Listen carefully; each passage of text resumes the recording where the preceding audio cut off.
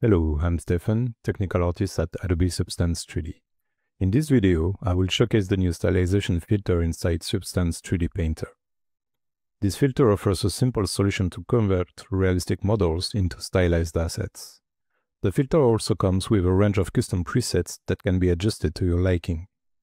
Okay, let's jump into Painter to take a look at it. Let's start by locating the filter in Painter's shelf. If you type stylization, you will find it in the filter category. You can drop it on a texture set via the viewport or from the layer stack. The filter needs a texture or at least a fill layer on the channels you want to process. If you want to apply the stylization effect to the entire scene, simply duplicate the layer across your texture set.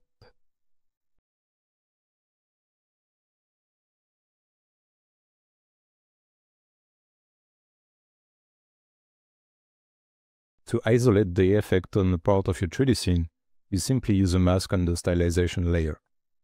If you are getting slow feedback when tweaking the filter, decrease the resolution of the texture set. If you want the best result for stylization, I recommend baking the normal ambient occlusion and curvature maps through the baking menu. Okay, let's start exploring the stylization filter. The default state of the filter will give you a neutral base. The stylization parameter sets the overall intensity of the filter. The following parameters control the intensity of specific effects and are tied to the menus at the bottom. You can also browse a wide variety of presets to get different looks quickly. Let's take a quick overview at each of the specific effects and the settings. The brushstrokes parameter blends brushstrokes on the model surface. This parameter is tied to the brushstrokes menu that controls how patterns are splattered and the brushstrokes effect tweaks the look. The smoothness parameter controls the overall stylized smoothing of the filter and works with the smoothness menu. The colorize parameter lets you add color and grunge to the base color and is linked to the colorize menu. The gradient parameter lets you blend the gradient across the model and is also adjusted through the gradient menu. The baked lighting parameter lets you add lighting reflection on the model, which you can tweak further in the baked lighting menu. The edge and cavities parameter lets you reinforce the details and contouring of the model, and more options are available in the edge and cavities menu. Finally, the helpers menu lets you display some specific masks related to the submenus. Now that you are starting to familiarize yourself with these effects, let's dive even further into each of the settings. The brushstrokes amount sets the number of strokes splattered on the model. It's important to note that setting high values for this parameter will drastically slow down the filter. There are three strokes mode to choose from. The multiple strokes splatter different shapes on the model. The single stroke splatters the same shape over and over. You can also choose different brush patterns from the stroke select menu. The custom input mode lets you load your own shape to be splattered. You can find the image inputs at the bottom of the properties panel. You can further tweak it with the scale, rotation, and so on. The Strokes Follow Surface option will automatically orient the brush strokes to follow the 3D surface of the model. Finally, the projection hardness and normal threshold parameters control all the stamps fade away across the 3D surface variations. Next, in the brushstrokes effect menu, you can control the appearance of the brushstrokes. Color variation blends brush patterns in the color, taking into account your base color. If you want to add a specific tint, you can toggle Color Custom and pick a color. You can repeat the operation for the roughness, metallic, and normal. The normal custom displays options to fine-tune the normal effect. And lastly, the normal random is helpful to get stronger brushstrokes effect on flat surfaces.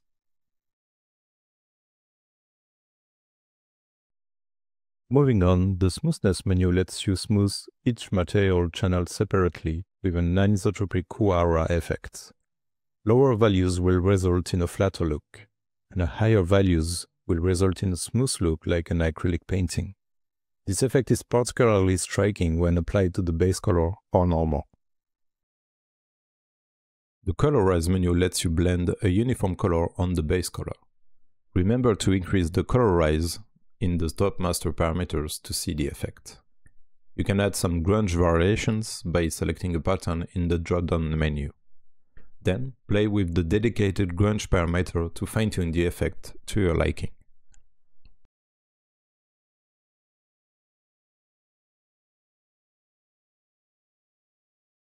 The gradient menu lets you add a gradient on your model with one or two colors. You can choose the opacity and blending mode for each color. And you can adjust the position and contrast of the gradient at the bottom of the menu.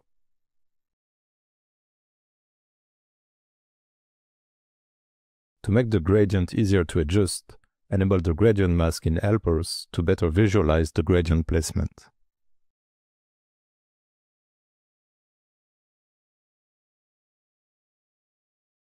Looking at the baked lighting parameter, you can add lighting reflection on the model. The brushstrokes and lighting parameter affects the lighting based on the brushstrokes, allowing you to further enhance your artistic approach. You can control the intensity, color, radius and contrast of both the diffuse and specular reflection.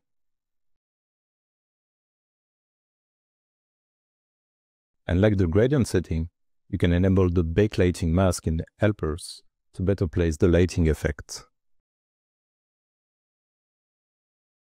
Lastly, the Edges and Cavities menu lets you intensify the details and contouring on the model. You can amplify details on the texture with Color Sharpen or on the model surface with Surface Sharpen.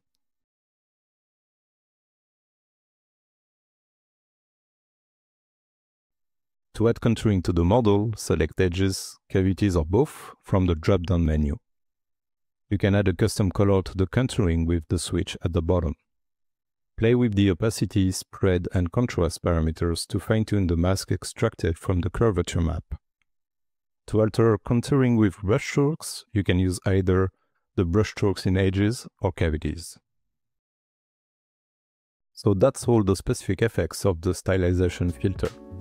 But before ending this tutorial, I would like to showcase some of the presets applied on different models.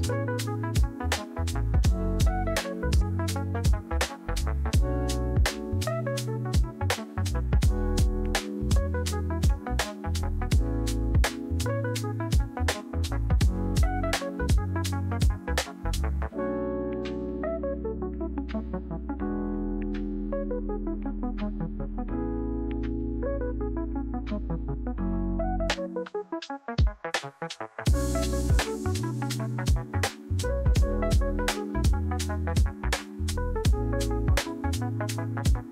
this tutorial, you have learned how to use the new stylization filter in Substance 3D Painter.